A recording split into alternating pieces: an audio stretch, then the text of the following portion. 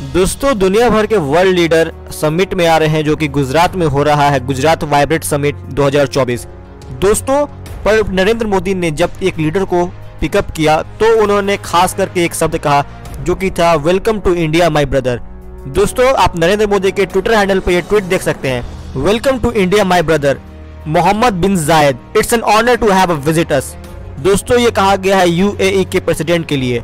और नरेंद्र मोदी ने प्रोटोकॉल तोड़ के डायरेक्ट एयरपोर्ट से यूएई के प्रेसिडेंट को रिसीव किया है दोस्तों।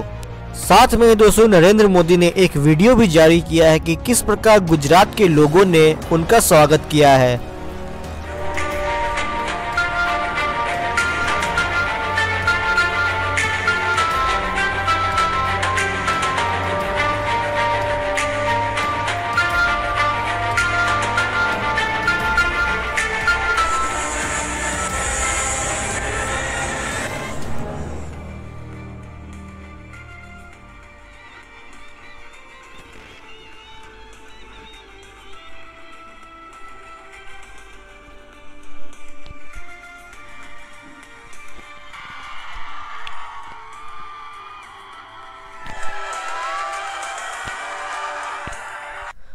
दोस्तों, एक खास बात यह है कि इस तरीके का जो रोड शो है, सिर्फ़ यूएसए के प्रेसिडेंट जब भारत आते हैं, तब होता है।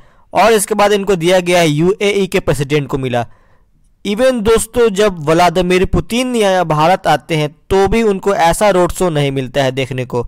दोस्तों, आपका क्या कहना है भारत और यूएई के इस दोस्ती के बारे में? कमेंट कीजिए, चैनल को सब्सक्राइब करें।